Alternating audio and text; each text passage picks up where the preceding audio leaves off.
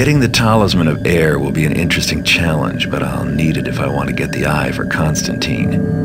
It's well hidden inside the city's Hammer Temple, so I'll have to do some scouting around. Problem is, the place is fully active day and night. Not even I can stay undetected for very long. Well, they say that the best place to hide a letter is on the mantelpiece. With that in mind, I'll be going in by the front door, dressed as a Hammerite novice.